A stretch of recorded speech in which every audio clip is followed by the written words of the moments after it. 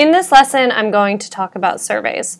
What I'm going to do is I'm going to create a survey and then I'm going to present the survey and show you what it looks like from the attendee point of view. So first things first, I am in a Zeeting. And the Zeeting already has a few slides, but now I want to add a survey. Anytime you want to add any content to your Zeeting, click this content, Add Content button at the top, or choose this big plus sign here. All right, we've selected it, and now you can see you're in the Add Content page, and there's a bunch of different types of content you can add, but we're going to create a survey. Now, surveys are a great way to gather private feedback about your meeting, event, training session, or really any time you bring people together. I also must mention that this is a premium feature which requires you to upgrade. So I'm going to go ahead and create the instructions for the participants which you see here. So I want participants to please leave any feedback about our event today. Great. So that's where you want to add in what you would like the attendees to fill out. And then down here you'll see the, the fields that you can select for the participants to complete. Um, and keep in mind that when you do check these, it is required by attendees to complete that before they can actually submit their response. So I'm actually going to get rid of the email and just require the name and then the feedback comments from the day. Now going down here, you'll see that we have the options. You can change the background color.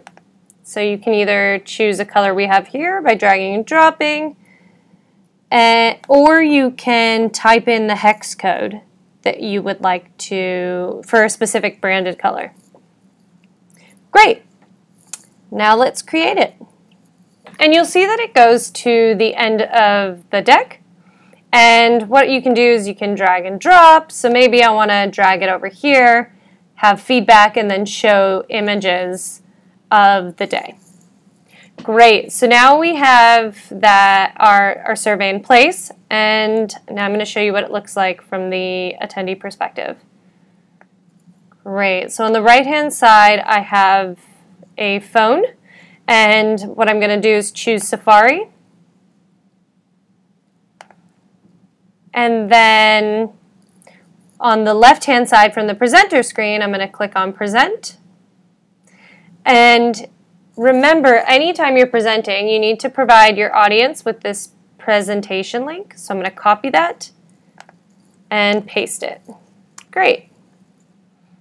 It says I'm off air, but as soon as I start presenting, you'll see it'll pull the attendees into the presentation in real time. So I have this first slide, and now I'm going to proceed to the survey. And on the right hand side, you'll see, please leave the feedback about our event today. So type in the name or my name, Chelsea Colley, and I'm going to say it was such an inspiring experience, but the food could have been better. Great. So on the left-hand side, you'll see that it just has the, the instructions for the attendees on the screen. And these comments from the attendees will actually never be displayed. So you can submit, and from the presentation point of view, I can go find those responses in my analytics. So now I'm going to stop presenting. Great, and the presentation.